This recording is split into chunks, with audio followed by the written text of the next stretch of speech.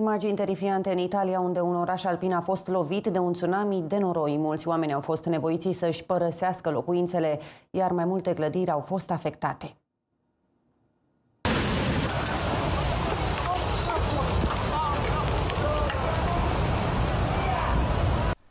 Străzile orașului Bardonechia din nordul Italiei au fost inundate de apă și noroi, de ceea ce localnicii au caracterizat drept un tsunami de noroi. Pentru a se proteja, unele familii au fost nevoite să se urce pe acoperișurile caselor și au așteptat intervenția echipelor de urgență. Cinci oameni au fost inițial dați dispăruți pentru ca ulterior să fie salvați. Cel puțin 120 de oameni au fost nevoiți să-și abandoneze locuințele.